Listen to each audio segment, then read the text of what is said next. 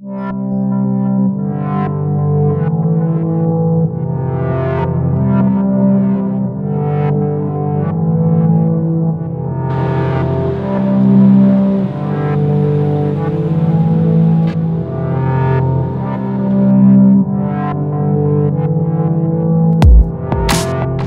guys, Josh here. It is August 4th of 2016 and I have an idea. I'm a researcher, engineer, student uh, for my PhD at Lehigh University and I just thought it'd be interesting to show you guys a little bit of what I do every day. Uh, so starting today, I think I'm gonna upload probably one video a day, Monday through Friday, maybe on the weekend if something fun comes up.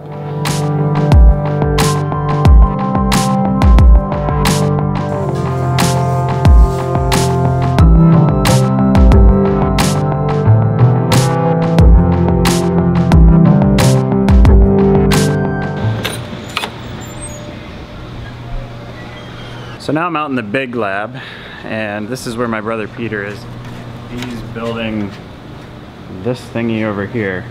Just wanted to explain a little bit of why I'm doing what I'm doing. Um, you know, I've been uploading weekly content for a little bit here, but I really wanted to to do more. I love the days I put up videos. So these may be shorter, but I'm hoping they'll be a little bit more intimate into my life and what I do and hopefully a little more enjoyable to watch, but they'll probably be a little shorter because I'm doing more of them. So, it is 11.05 and I have not had coffee.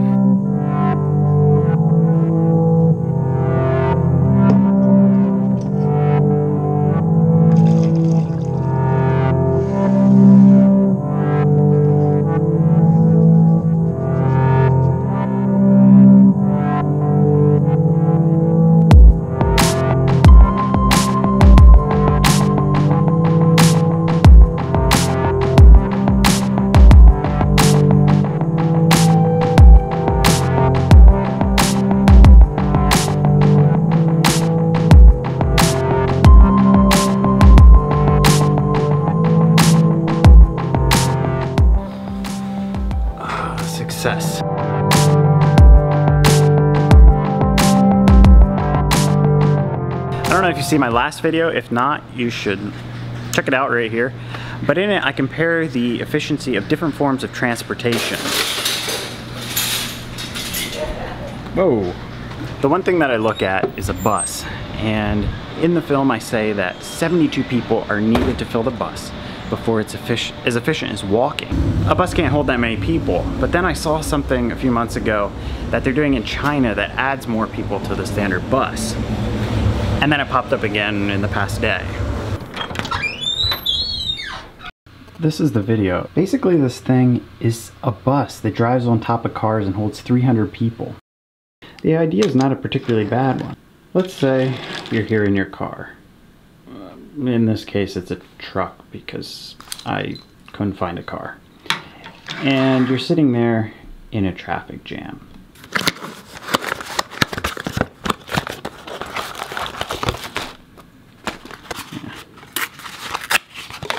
And then let's suppose that this little thingy is the new bus train thingy.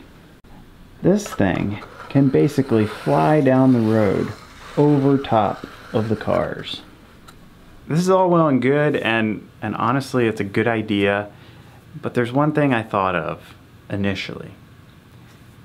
See, when I was a kid, you'd be driving down the highway beside a tractor trailer truck, you're looking at the trailer, suddenly he starts to go faster than you, and you feel like you're going backwards.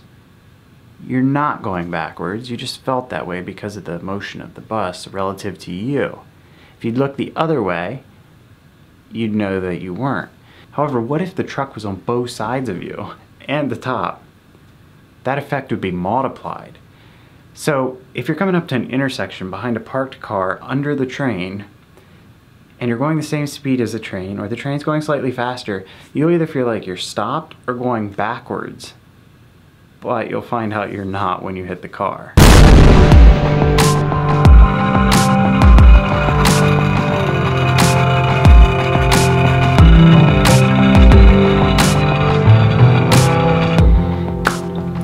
This is pretty much my day. Sit at the computer, do stuff. And then every once in a while, we have a meeting.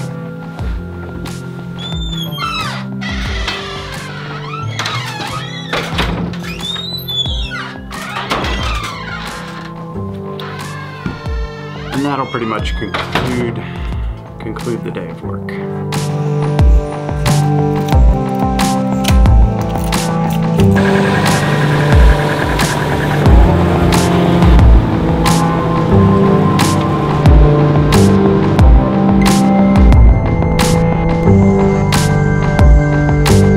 Heading out now for the last thing of the day. Just one more thing to do. It's actually a good end to the day. It's nice and cool.